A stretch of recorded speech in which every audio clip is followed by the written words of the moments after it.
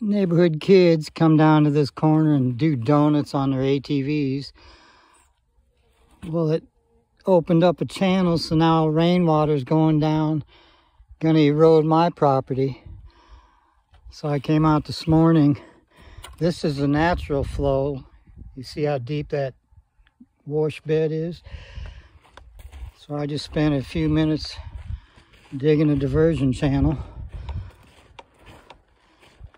Try to get it away from my property and put it back in the stream bed where it used to be.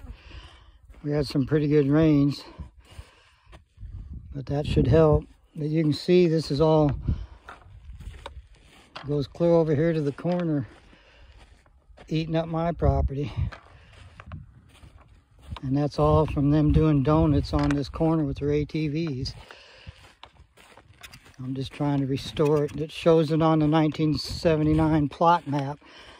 This little creek wash goes right there, so I'm putting it back where it belongs, at least on this corner. See how deep it is there? That's where it belongs.